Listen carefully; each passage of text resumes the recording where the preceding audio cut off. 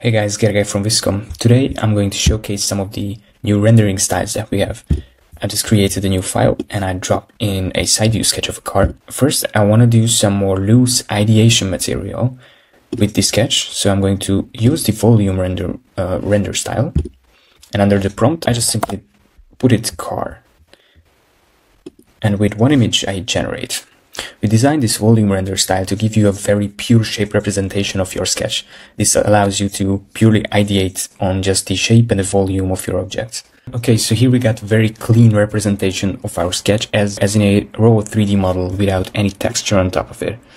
What I can do is to duplicate the sketch layer, set it to multiply, and to create this very sketch rendering style, you can play around with the opacity of your sketch.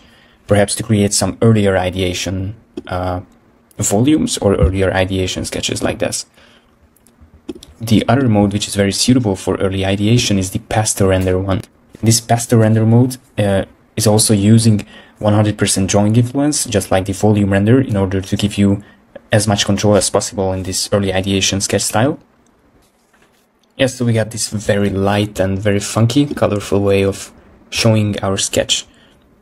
And here also you can put the sketch up with multiply and create a very nice looking little early ideation render in a very colorful and, colorful and funky style, which suits the overall aesthetic of this vehicle or the presentation itself.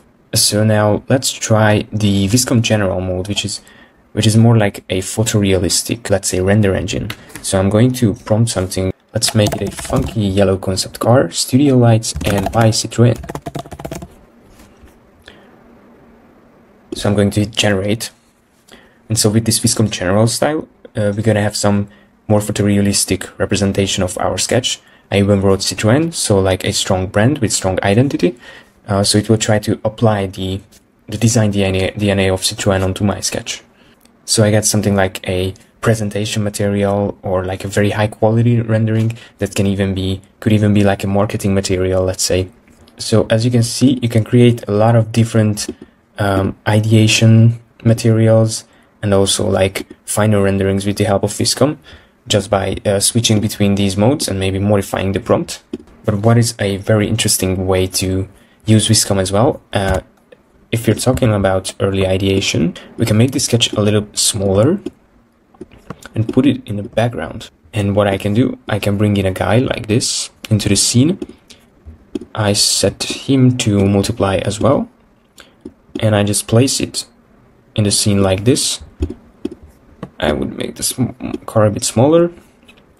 And now I can prompt something like yellow outfit guy staring at his blue car, dark scene, depth of field. And I hit generate. Okay, now I got this uh, like final presentation or even marketing material out of this, uh, like the guy staring at his blue car. And now let's investigate how we can interpret it in the early ideation like way, maybe in a storytelling phase. So let's try this pastel render again. For this pastel render mode, I'm going to delete the colors. So I only leaving guy is staring at his car and I hit generate. I'm going to choose this one. I hit confirm.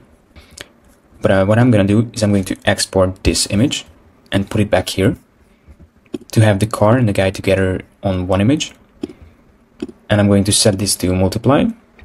And this way I could I could create this uh, like very cartoony or more storytelling vibe of rendering let's say. So with the help of the different rendering modes we can create some uh, very diverse either ideation or storytelling materials or even some final renderings and marketing materials for different projects even. So thank you guys for watching and I can't wait to see what you're coming up with with these new render styles and with Vizcom. Uh, and let me know if you have any questions. See ya.